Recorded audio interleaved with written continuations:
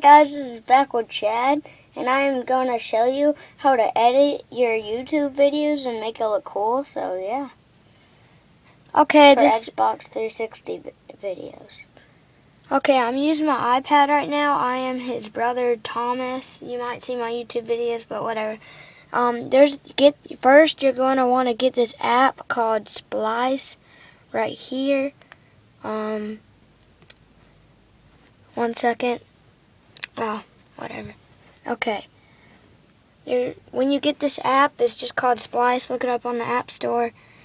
Um, I'm showing you how to screen record and edit your video, so you're going to want to just name it whatever. This is a Minecraft video. We're showing you three, whatever. So just hit done. Then you're going to want to put your video in, go to camera roll, tap on your video, and then it'll show the loading thing up the top. In one second. Okay, you see your video. All you need to do is just video with your iPod or whatever. It can just be like this. It doesn't even have to be like, um, it doesn't have to, right now you're using your iPod to do this. So just video it with your iPod to the screen and then you'll hit this thing that looks like a pencil and then you'll see like something that looks like cropping right in the middle. Tap that and then tap crop. Zoom on your video and then you can make it like this isn't a good video but you could do it like this. Hit done. Then you have your video first person. You can tap this. You can add a picture. Go to camera roll.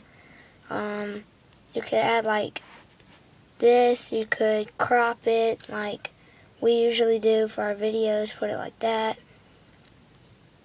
You can hold it down, move it, put it over here, put a another picture on the other side of the video. Um, like this. And then you're going to to render it all together, like make it one video, you want to hit preview, and then you can watch the video all together right here. You'll hit export and hit high or medium. I'm going to hit high, and then you just wait till this is done. And that's pretty much all, and thank you for watching, and what do you have to say, Chad?